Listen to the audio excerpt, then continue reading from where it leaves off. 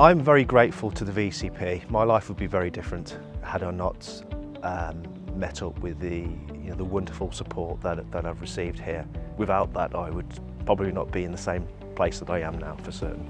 But the building itself needs expansion. It, it needs room to develop the, the, the courses which the VCP run. The Veteran Contact Point building is generally run down. It's cold, cramped and inaccessible for the disabled. Balfour Beatty will work with Warwickshire County Council, our supply chain and our employees who will use their volunteer days towards the refurb works of this project. The project will upgrade the centre, it will provide warmth, more space and accommodate the needs of the veterans. I'm really pleased to be here today to, to celebrate the reopening of the Veterans Contact Point. I think we all know how important it is to support the veterans and we could do with having one of these veteran contact points in probably most counties. On behalf of the Lieutenancy I would thank Balfour Beatty, I would thank everyone who's been involved with today's event.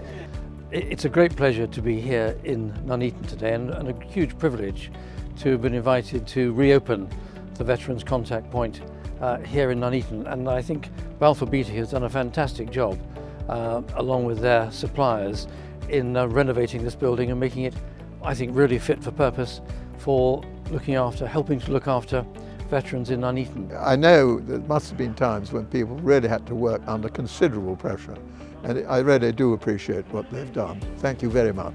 For me, one of the key components of this is the community. So first and foremost, it will obviously support the veterans who live in the area and get the value of the facility that we've now put in place. And I'm proud and privileged to play a very small part in that. Having served in the armed forces myself, not having a, a clear, visible place to go and ask for help, we have a lot of ex-servicemen who come here because it is a visible place to get help from. It gives us a special place we can call our own.